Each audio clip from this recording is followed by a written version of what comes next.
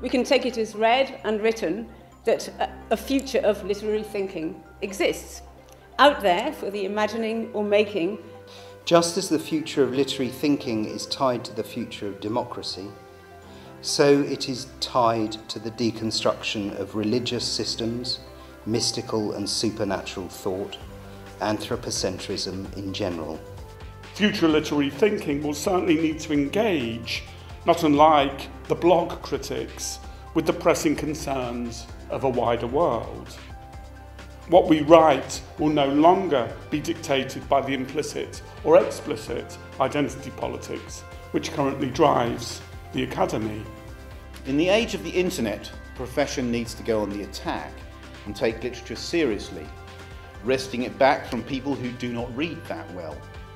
The future of perhaps too readily implies that there is a present, a fixed and reassuring now of the literary. Nothing is less certain.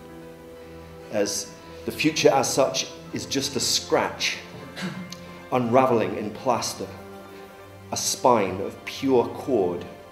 Everywhere I look in the field of humanist studies, I see scholars who have moved beyond the polemics and dogmatism of the 70s and 80s and incorporated what we've learned from the culture wars into their work in a wholly positive way.